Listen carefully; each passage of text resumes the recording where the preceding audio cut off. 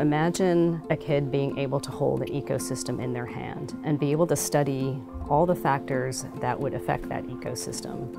Our goal is to help support experimentation and use of different technologies to help kids hopefully make sense of their world in better ways.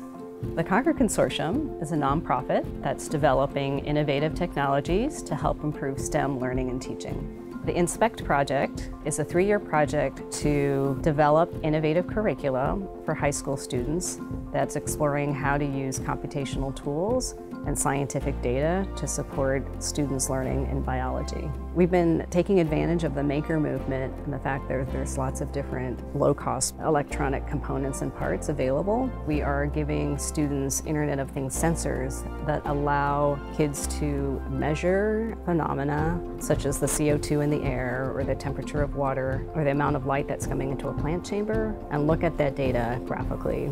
And so you can program logic into a data flow diagram that then helps you control the experiment and collect data along the way to study that. Data can be really scary for students, and I think that the more students have the opportunity to collect data and then see that data for themselves, they are demystifying what data in a table or a graph can look like and making it a lot more accessible.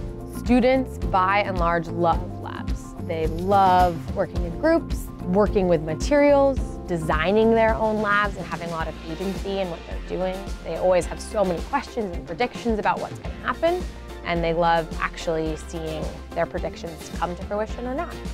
Biology is a class that all high schoolers have to take. So we think the project really has a potential to broaden participation, engaging with hands-on building things and tinkering with equipment, analyzing the data that comes out of that system. We will be working with a broader set of teachers, integrating more computational thinking. We've been able to make improvements that help students do the things they want to do more quickly, more easily, and help it become a tool that is ever more powerful in the classroom. So much of science is learning that the world is full of data and full of things to observe. And whether or not you can come up with objective truths or inferences from that data, having the tools to critically evaluate that data or that observation, whether it's a newspaper article or a conversation you have, is a lifelong skill that I hope that students get from science class. So having more experience with tools and actually being able to imagine what you would even want to observe given any question, I think is really, really important.